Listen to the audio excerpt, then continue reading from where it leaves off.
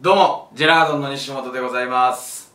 さあ、えー、やってまいりました。このえー、東京ミッドタウンアワード2014アートコンペの結果がですねまだ見てないんですけど今からそれを開いてまあ合格なのか、まあ、不合格なのか今からちょっと見たいと思います。いやドキドキしますね。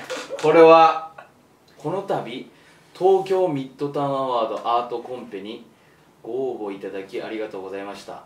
アートコンペの審査は6月30日に実施し。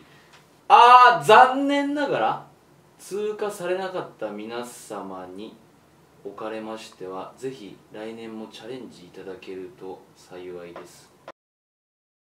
来たる7月28日アートコンペの二次審査査会を開催いたします。ちょちょっとだけいいですか？アートコンペの審査は6月30日の30日に実施し通過された方には、えー、別で別で連絡をさせてああ別でってことか！おお残念ながら通過されなかった皆さんにはおかれましてはぜひ来年もチャレンジいただけると幸いです。落ちましたね。いやくそ。いやでも実際これ悔しいですね。これは。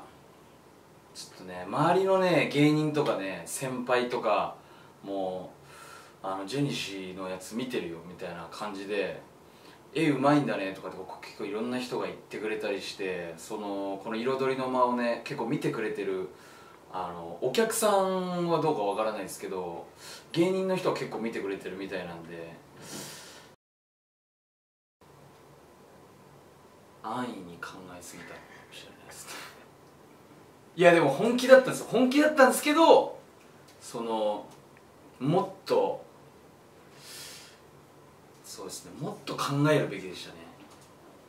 こういうコンクールみたいなのがあったらどんどん積極的にちょっと出していこうかなと今までやったことないですけどガンガンやっていきたいと思います。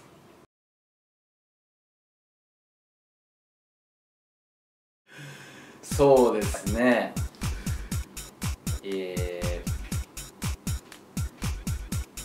これからのもう本当に僕の挑戦ですね。挑戦目標目標ですね。はいありがとうございました